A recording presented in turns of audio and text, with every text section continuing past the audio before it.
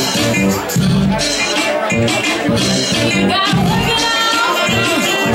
and